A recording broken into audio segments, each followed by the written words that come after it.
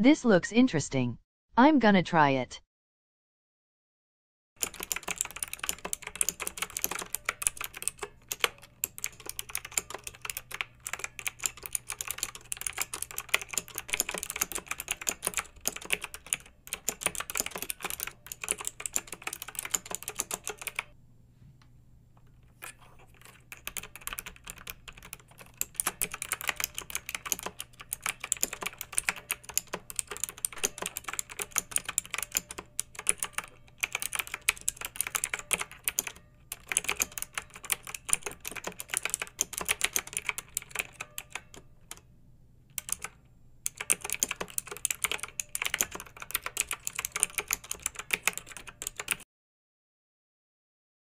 I'm finally done. Here are the results.